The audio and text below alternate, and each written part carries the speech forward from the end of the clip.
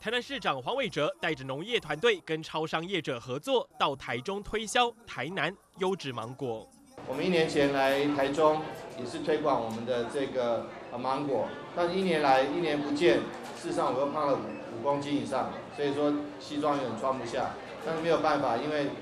这个农产品、农特产品太好吃了。受到疫情冲击，各行各业都惨兮兮，但台南爱文芒果销量却是逆成长。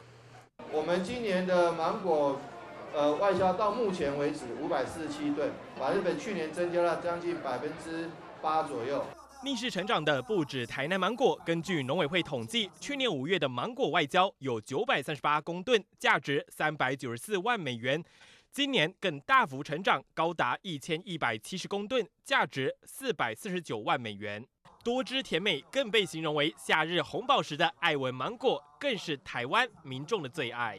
哦，爱文的，我喜欢吃爱文的，它很香啊，很好吃，这样酸酸甜甜的嘛，嘿，对对，而且看那个外表很漂亮。新鲜芒果人人爱，台南的优质农产品可不止这样。